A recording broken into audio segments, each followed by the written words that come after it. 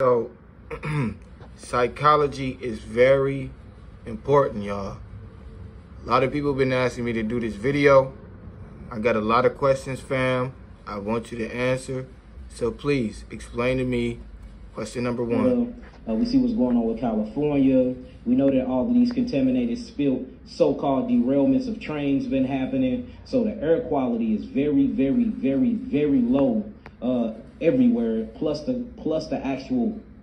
Plus Okay, my thing is this. You are a very well-spoken individual, right? Why are you stumbling right now? That's my question. You looking down. You very, very listen. Look, look, look, look at you. all derailments Listen. of trains been happening. So the air quality is very, very, very, very low uh, Look at 'em. everywhere. To the plus side. The, plus the actual. Plus the plus the look at him. Plus the actual. This is these are signs of a liar. I just want you to understand that. These are signs of a liar.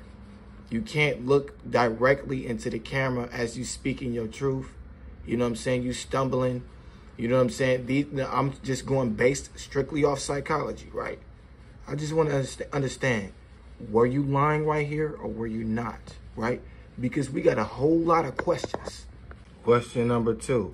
uh, everywhere. Plus the plus the actual plus the actual oxygen levels are messed up. It's mold in the air. It's sulfur dioxide in the air. It's sulfur monoxide uh, oxide in the air. What else? It's formaldehyde in What the else? air. It's chloride in the air. What else? It's volatile organic compounds in the air. What it's else? methane in the air. What else? It's benzene in the air. What up? in the air, In the air. What up? in the air, in the air, what else in the air? And a lot of people don't realize this is causing a lot of cancer. That's why if you look within the last 20 years of, of the statistics of cancers, Mm-hmm. cancers have been high as hell. A lot of people are getting throat cancer, tongue cancer.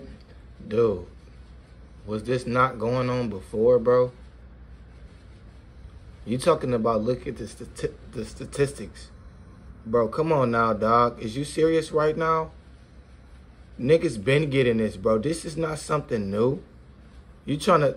Oh yeah, it's all of these things in it, bro. Listen, you talking about all this shit that's in the air while you sitting in front of a fucking AC, dog. This is why I don't understand. This is my question to you. What's coming from the AC, fam?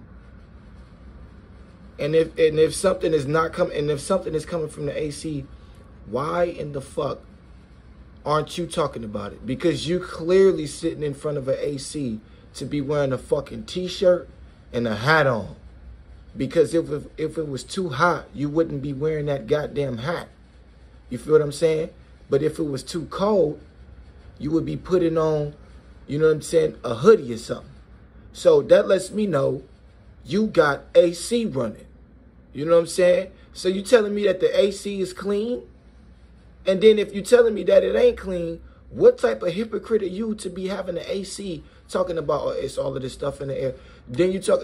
Let's keep it going though. But let's keep it going. breast cancer, prostate cancer, all these different cancers are coming on, and that's because the body is not getting oxygen because oxygen is made through photosynthesis. Family, a lot of people don't know that we get oxygen by way of the sun. So they're doing I everything. want y'all to understand something, bro. Just because a person knows one thing doesn't mean that they know all things. Now he talking about glucose and photosynthesis. This is shit that most people don't fucking study, right? So they going, oh, this shit sounds very wonderful. You know what I'm saying? So they gonna believe anything he say, right? After that, it don't matter. You said glucose and you said photosynthesis. Oh, this nigga got to be telling the truth. He's got a big vocabulary and he's got a chain.